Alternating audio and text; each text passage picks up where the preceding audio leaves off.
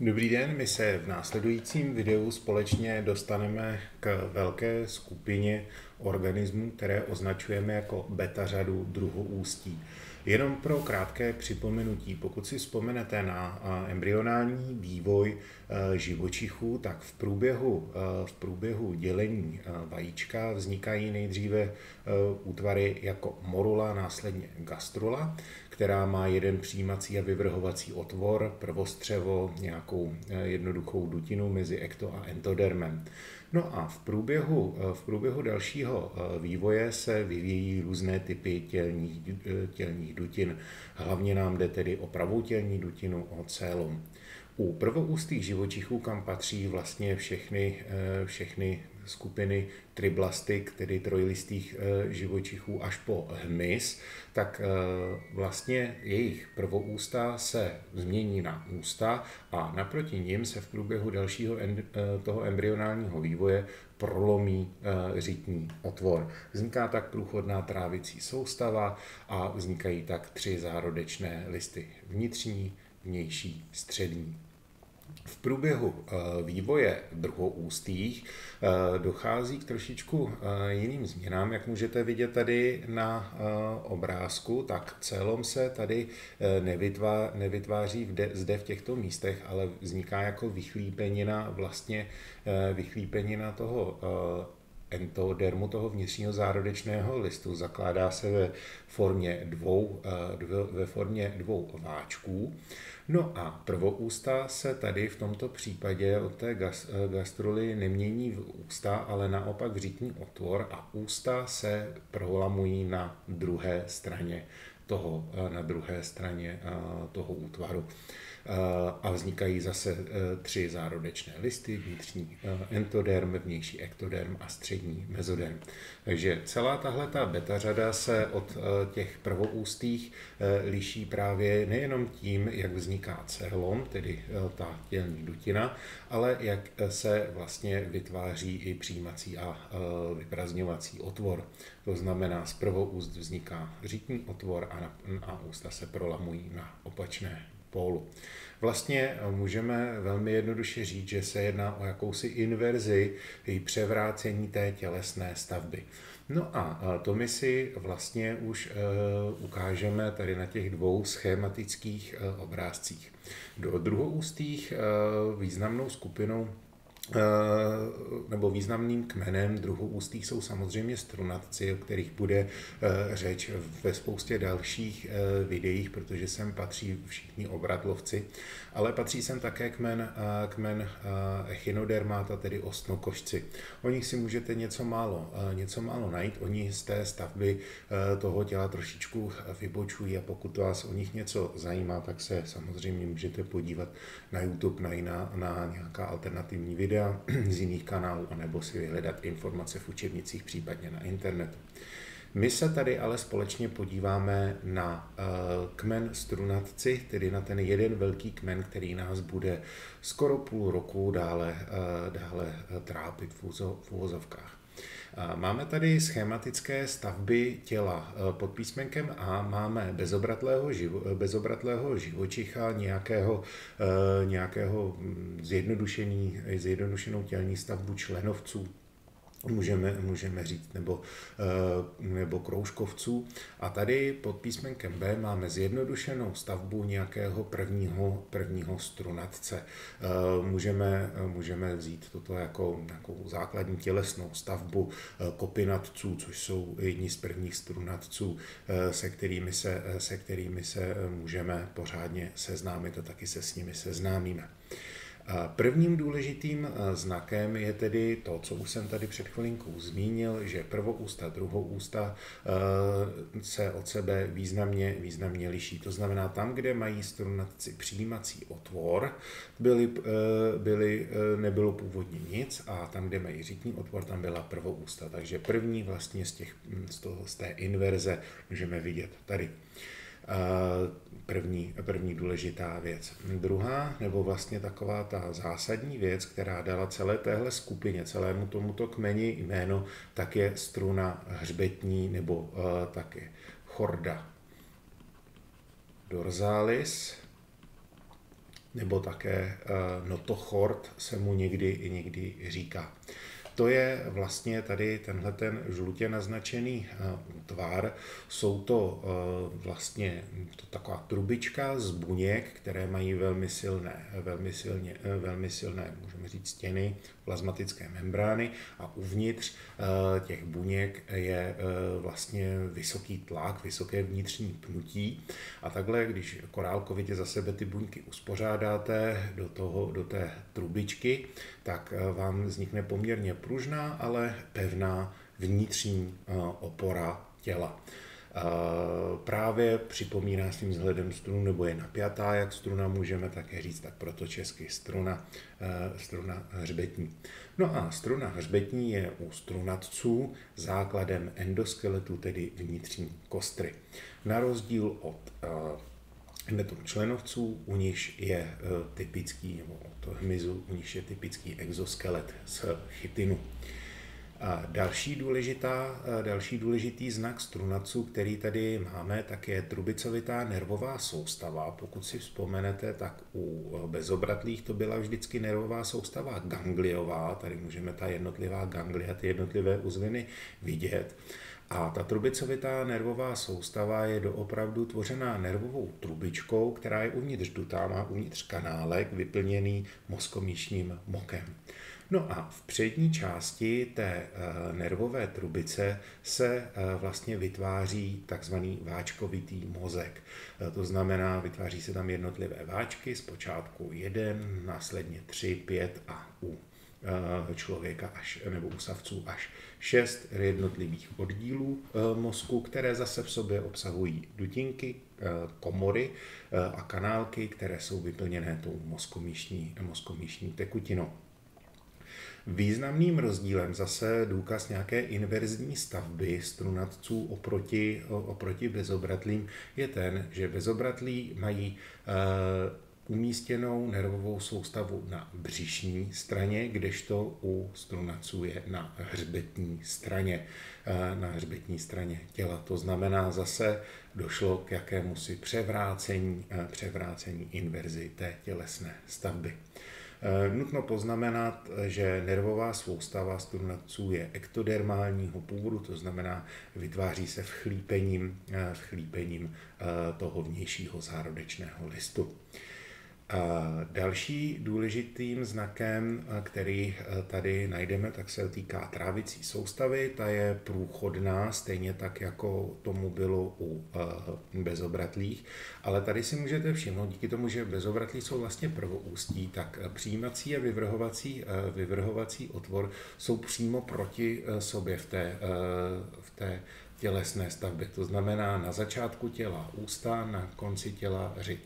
U strunavců je ta trávicí soustava průchodná, to eh, určitě, ale vyústňuje, vyústňuje ne na samém konci toho těla, ale před vlastně koncem, čímž tady vzniká ocasní část, tedy takzvaný pravý, eh, pravý ocas, což je další důležitý znak strunavců jako takových. V rámci té eh, trávicí soustavy se také vytváří dva důležité útvary, eh, které potom eh, vlastně mají celou řadu anatomických i funkčních důsledků. Jsou to takzvané žaberní štěrbiny nebo proděravělý hltan. Tady si můžete všimnout, že po tom přijímacím útvoru, otvoru a dutině ústní následuje oddíl hltanu, který obsahuje takovéhle štěrbiny, říkáme žaberní štěrbiny, štěrbiny nebo prostě proděravělý hltan, může mít eh, různou, eh, různou podobu a, vlastně skrz ten, proděra, ten, ten proděravělý hltan umožňuje komunikaci vlastně toho vnitřního prostoru, toho hltanu s vnějškem. Většinou tedy na bocích hlavy eh, těch strunavců najdeme potom eh, otvory, kterými ta voda vychází ven. To znamená, že ten strunatec přijímá, dejme tomu vodu, eh, tady tím ústním otvorem a protlačuje tu vodu přes ty žaberní štěrbiny. Ty žaberní štěrbiny, které tady jsou, tak mezi nimi ty přepážky jsou prokrvené, jak si můžete všimnout tady cetárie jsou vlastně oblouky cévní soustavy. A kyslík, které v té vodě je, okysličuje tu krev, takže ty žaberní štěrbiny doopravdy fungují jako, jako e, žaberní dýchací orgán. A zároveň mm, se částečky potravy, drobnější částečky potravy v tom proděravém hltanu zachytávají jako na filtru a ti strunatci, ty nejprimitivnější, tím filtrují vlastně eh, filtrují potravu, kterou posílají dále do té průchodné trávicí soustavy. Druhý významný orgán je takzvaný endostyl neboli podhltanová žláza, kterou najdeme právě pod eh, hltanem. A je to vlastně eh, základ, eh, vlastně základ eh, řídící, hormonální řídící soustavy, vylučující různé, různé hormony.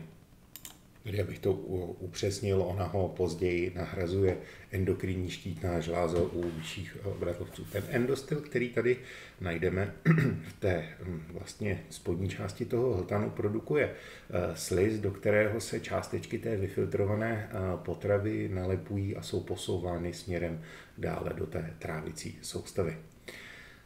Když už jsme tady před chvilinkou zmínili, eh, zmínili cévní soustavu, tak eh, rovnou se na ní eh, podíváme. Cévní soustava je uzavřená ve většině případů u, všech, u většiny strunaců. Existují samozřejmě nějaké výjimky.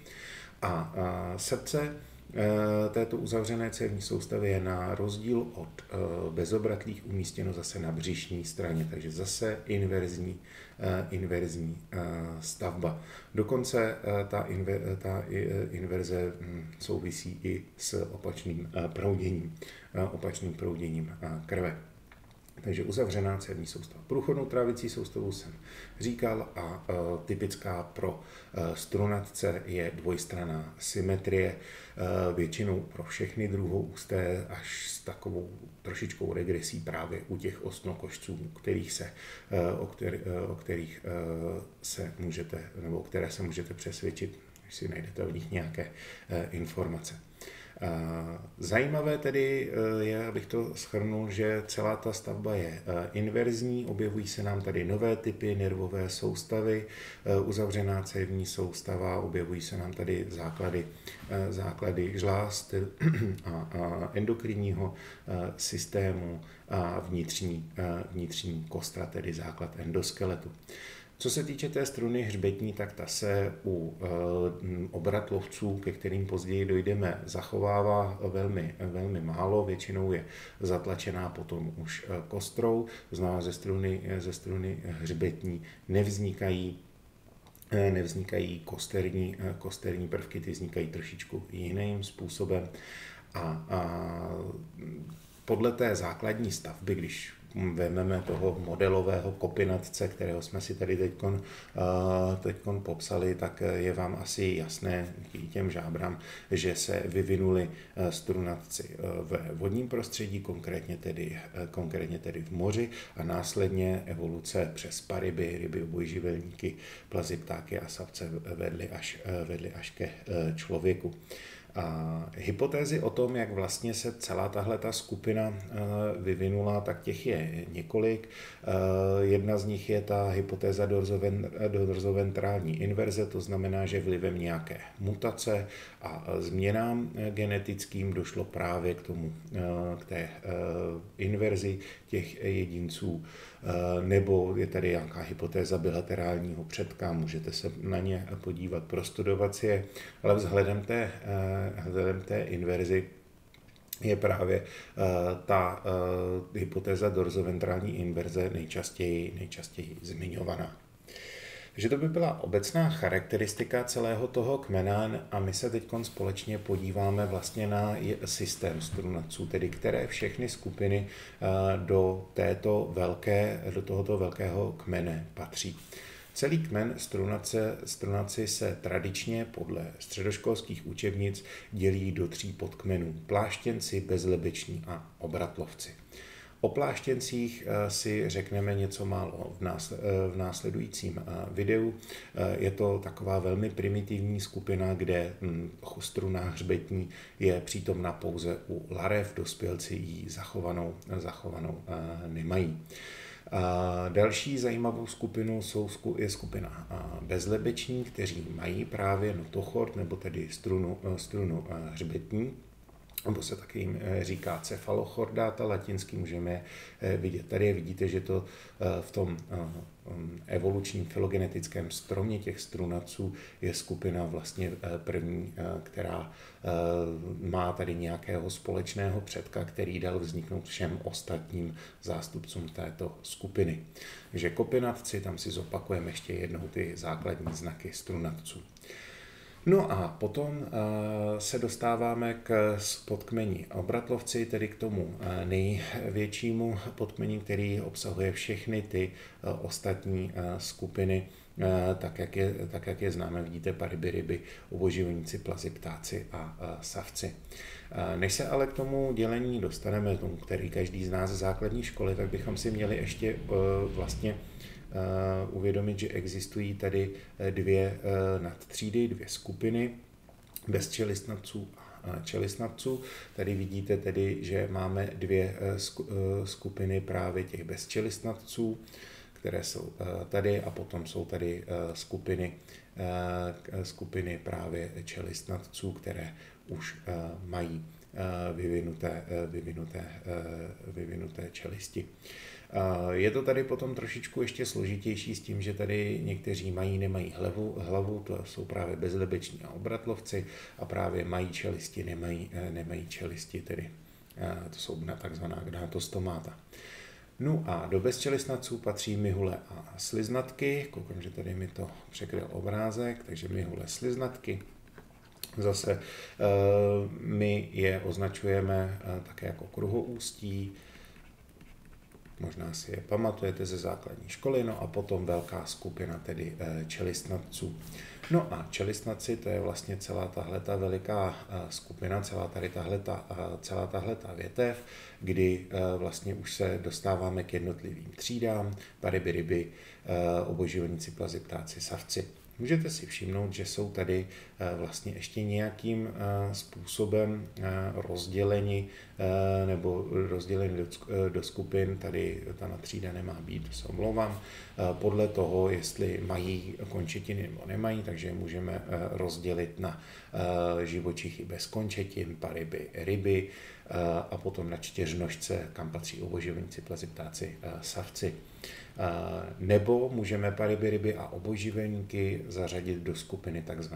anamnií, anamnia neboli bezbladní, které, kteří mají rozmnožování vázané na vodu nebo jsou přímo jejich celý životní cyklus je vázaný na vodu, což jsou pariby, ryby, žraloci, rejnuci, chiméry a potom všechno, co můžeme označit jako rybu. No a nebo uh, jsou to tady potom obojživelníci, kteří uh, tedy mají aspoň část toho životního cyklu na tu vodu nebo na to vlhké prostředí vázáno. A uh, bezblaní se jim říká proto, že jejich vajíčka nemají obaly, které by je chránily před vysycháním, to znamená, že se musí vyvíjet především ve vodě. Naopak, eh, plazy, ptáci a eh, savci jsou tři třídy organismů, kteří jsou už adaptovaní k suchozemskému způsobu života. Také patří do skupiny amniota, neboli blanatí obratlovci, které mají obaly eh, vejce, které vlastně, to je jejich vejce a ty obaly v tom vajíčku zajišťují nebo simulují to vodní prostředí. Ty tři obaly se nazývají amnion, chorion Orion a Alantois. No a tito živočichové, tito obratlovci mohou eh, klást vajíčka i na suché zemi, dokonce i eh, u savců to šlo až tak dál, že u eh, placentálů se vyvíjí tělo, se vyvíjí nový jedinec uvnitř těla samice nebo matky, můžeme, můžeme říct. Upozornil bych vás tady na jednu mm, důležitou věc, obzvlášť u e, členění těch strunavců do toho systému. Jak jsem říkal, tohle to jsou takové tradiční systémy z učebnic, ale ono to úplně, úplně neplatí. Díky studiím genetickým, genetické příbuznosti a vývoje filogeneze bylo zjištěno, že třeba skupina plazy a ptáci patří do jedné skupiny. Tady, když se podíváte, tak mezi plazy, reptília patří želvy, hadi, krokodýlové a ptáci. Vlastně správně by, cel, správně by ptáci a plazy měly být jednou jedinou skupinou protože jsou prostě jednoduše příbuzní a mají jednoho společného předka. Ale protože se ptáci eh, svojí tělesnou stavbou dost výrazně od těch plazů odlišili, tak eh, vlastně byli, eh, byli nějakým způsobem, nějakým způsobem odděleni do samostatné třídy, i když by to mm, tak přesně, přesně nemělo být. A v rámci systému třeba ryb je obrovský, obrovský zmatek. Tady, když se podíváte tak máme tady, máme tady vlastně spoustu, spoustu skupin organismů, které dneska my podle učebnice řadíme do ryb, třeba dvoj, eh, dvojdyšní aktinopterigy, paprskoploutvé, lalokoploutvé ryby. A jsou to vlastně samostatné skupiny, které nemají úplně jasně definovaného společného předka právě proto, abychom mohli vytvořit nějakou skupinu, kdyby tomu obratlovců musíme, chceme, aby měli jednoho společného předka, což tady v těchto případech neúplně, e, neúplně funguje. Takže systém se neustále vyvíjí, neustále mění a pro zjednodušení my právě používáme tady, dejme tomu, tento tradiční středoškolský systém. Tak to by bylo k úvodu do systému strunaců všechno, no a v dalším eh, videu se už společně podíváme na dva podkmeny, na pláštěnce a na bezlebečné, abychom se mohli v následujících týdnech začít věnovat už tedy konkrétně těm jednotlivým třídám obratlovců.